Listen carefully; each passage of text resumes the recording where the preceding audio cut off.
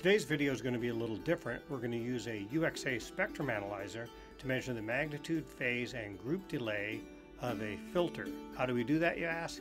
Well, we're going to use a vector signal generator to generate a wideband modulated signal. We're going to drive that into the filter, and then the UXA will grab the output signal and give us the characteristics based on uh, analyzing the multi-tone signal.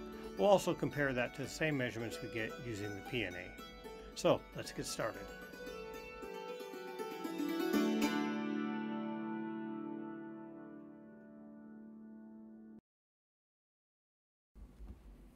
Here's the instrument stack I'm going to use today. The VXG is on the bottom and the UXA is on the top. And I'm going to be using a filter as the test device. Here I've got the preset screen on the UXA and I'm going to uh, show we can see a little bit of signal coming from my VXG already. But we're going to switch from the uh, wideband or full band sweep uh, we'll pull down here and we'll look for that new application. That's the the very bottom here. We see it's channel quality, group delay. And we get a lot of choices. I'm going to choose the group delay measurement and the quad display. So that'll give me four displays. And my four displays are the spectrum, the gain phase, the gain magnitude, and the group delay.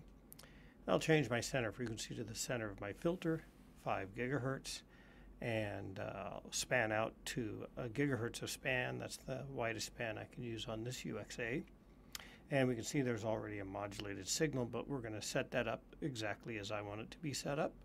So first we'll go to the signal generator and we'll have to set the connection and here I have a, uh, a, a, uh, computer name and I can make the connection and it shows up the uh, VXG information and I can do things like change the frequency of the VXG or change the amplitude, change the amplitude to plus 10, and I can send those settings over to the signal generator.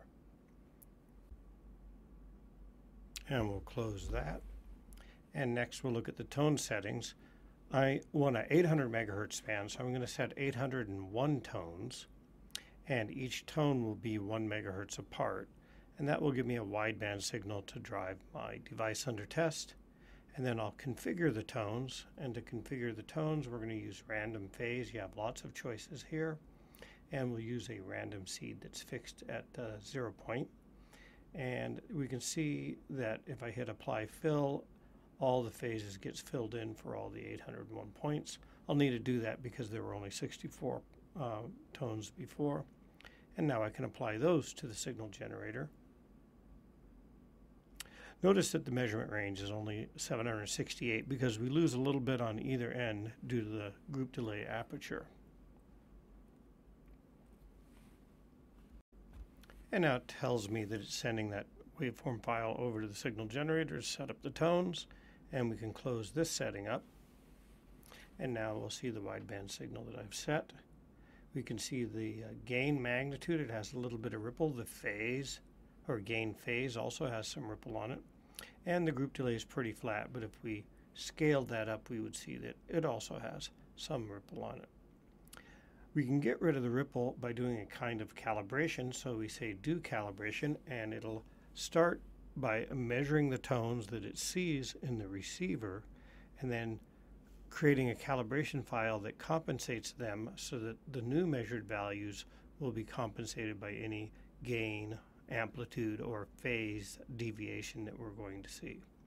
When it's finished, we can see in the table how much amplitude and phase correction it's applied.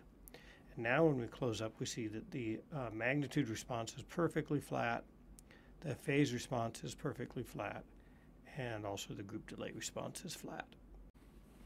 Let me note that I did the calibration step with a small through adapter uh, in line with two attenuators. I put one attenuator at the end of the cable from the VXG and another attenuator, a 60 dB attenuator, on the cable going from the uh, device interface to the UXA.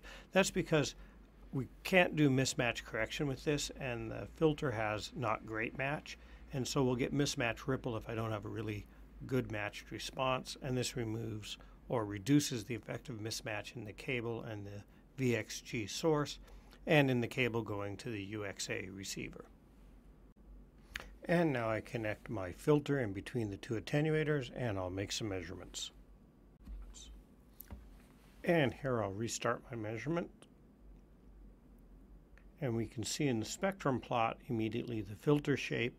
I'll note that the uh, uh, gain magnitude shows up. Uh, we can rescale it to look at something like 5 or even uh, 2 dB per division. Uh, jump that down a little lower. And we can see the filter response. Of course, we only see the response over the modulated signal bandwidth. And here you can see the phase response of the filter. And if I go down to the group delay, the filter's not that long, so we can go and auto scale the group delay or set the scale something like one nanosecond per division.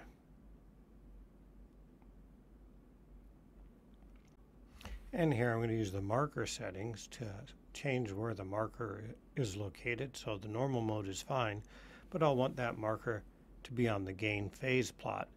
We say gain phase because it's really input versus output instead of absolute phase, and we can choose other marker settings.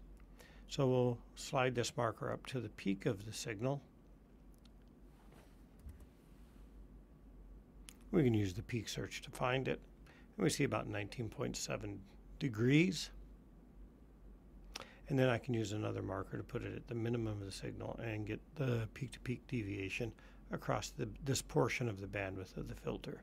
So I go back to the marker settings and I can choose marker 2, do the same thing where I set it on the gain phase measurement and turn the marker on. And move it to the minimum spot so I can record those two values, the 19.75 and the 14.3, or minus 14.3. So now I know the two values of the peak deviation. Let's switch over to a measurement I did on the PNA. This is the amplitude response and uh, we can see it's pretty flat, has similar shape, but let's jump over to the phase response and on the PNA, we have a math function called uh, trace deviation.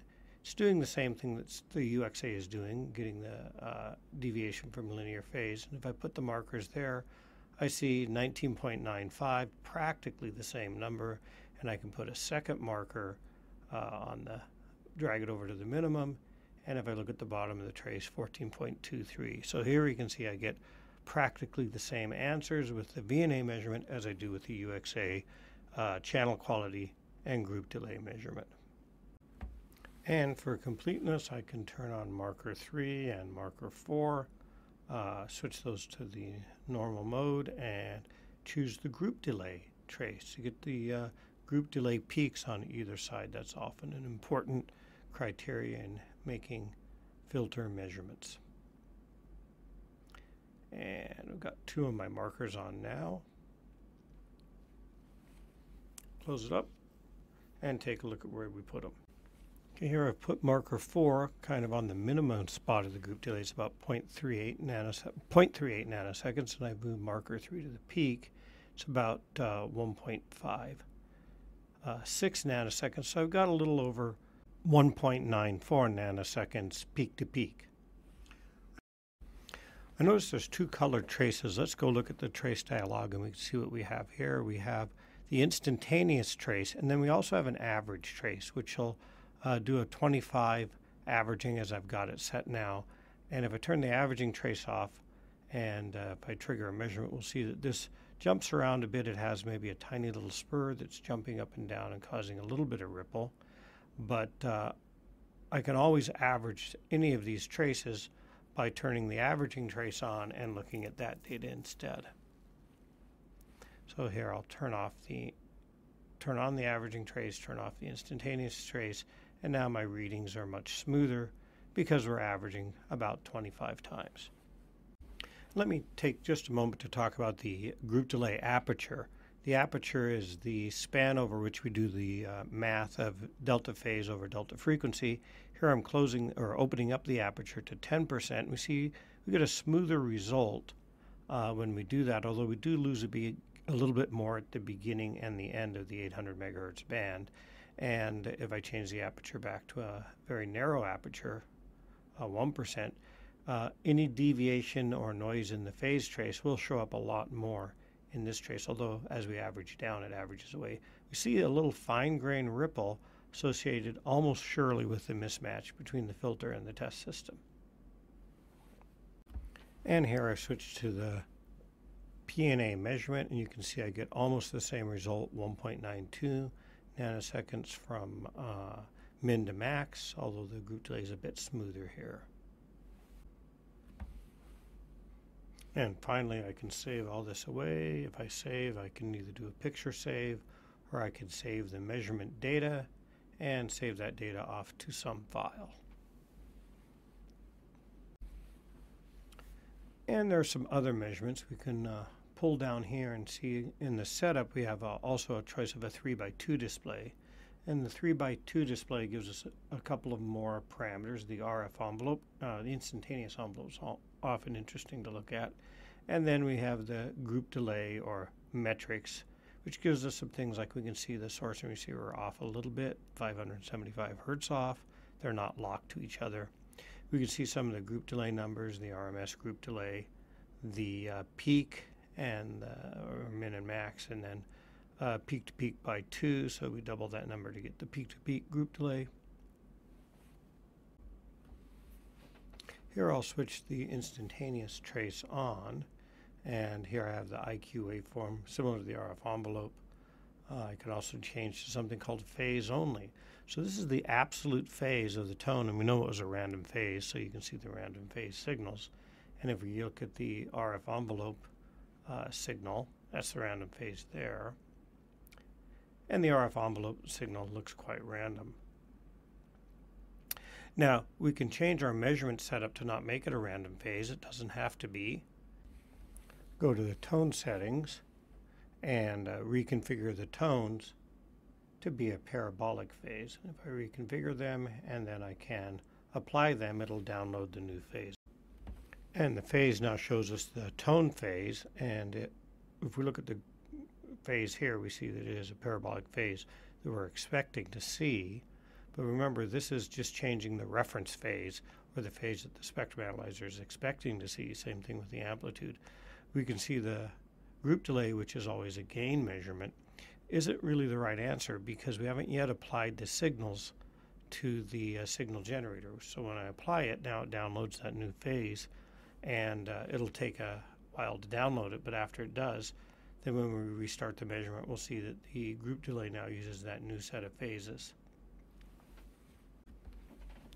So here we've restarted and I can also go back to the gain phase and show the gain phase is really unchanged because it doesn't depend uh, to the first order on what phases we actually use. But of course, the group delay to do the proper measurement, we have to have uh, a knowledge of what the input phases are and then what our measurement phases are, and that's what we have.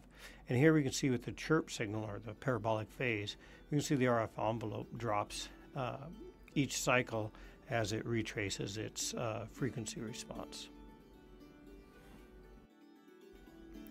All right, so now we've finished our demo. Uh, you can see that we can do a really good job of measuring the uh, group delay response, the magnitude and phase response of a filter, or anything else uh, using the new channel quality group delay X apps on the UXA. Thanks for watching.